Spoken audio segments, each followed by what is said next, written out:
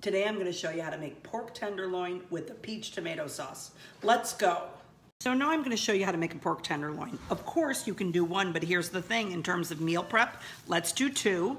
We're gonna salt and pepper it. And by the way, I'm gonna do it on the grill, but you can absolutely do this in the oven. I like to do it right in the butcher paper because it's just one less thing to clean up and salt and pepper it well. You could absolutely do other spices, but I'm gonna make a great sauce, so let's keep it kind of plain. So I'm putting it in a grill. It's about 400 degrees. I'm gonna do it about four minutes aside. And remember, there are four sides with these people, so we gotta keep flipping. So let's make broccolini. It's perfect with pork. It's cooked so quickly. I've got everything on the grill, but I've run inside to do this because I'm a multitasker. So I've got my pan nice and hot.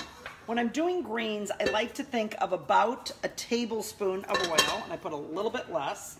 I'm gonna throw this all in nice and hot. And then I'm gonna take some garlic and I'm just gonna smash a piece of garlic. I don't have time today, so I'm just gonna smash it up. I'm gonna add it to the pan. And then also let's add a little bit of salt and I'm gonna stir that all up. When I'm timing vegetables, I always do it in two minute increments. What I find is this is just about perfect. And then if it isn't, I do it for another two, but I watch it. So let me turn this off so it's not gonna be overdone by the time the pork is off. Dust off the grill. Let's put it on this lovely board. And you know what I like to say now? Step away from the meat and let it rest at least 10 minutes. Finished product. So this is definitely a magic elixir. And by the way, if you mix this sauce with mayo together, you get like an incredible dressing for next day for salad. So now let's make a delicious and totally easy sauce.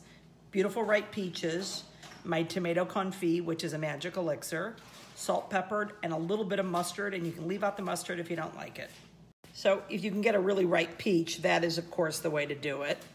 And this is actually very ripe and just perfect. And let's cut it in some pieces, doesn't need to be tiny. And we're gonna put get that in the Cuisinart and get everything whirling. So what I'm gonna do now is, I'm just gonna put this in. Now, if we did not have a really ripe peach, we would absolutely take the skin off, but this is the moment, and we're gonna add my tomato confit, just a little bit of mustard, salt, and pepper, and let's whirl.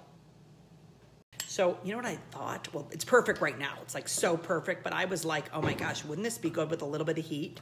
So we've got some spicy pepper here. It's red. I like that everything's coordinating. And let's mix that all up. So I'm gonna take a little taste. Oh my gosh. Mmm, it's great. It's not too strong. It's absolutely delicious. And you're gonna use this as a magic elixir all week with all kinds of things.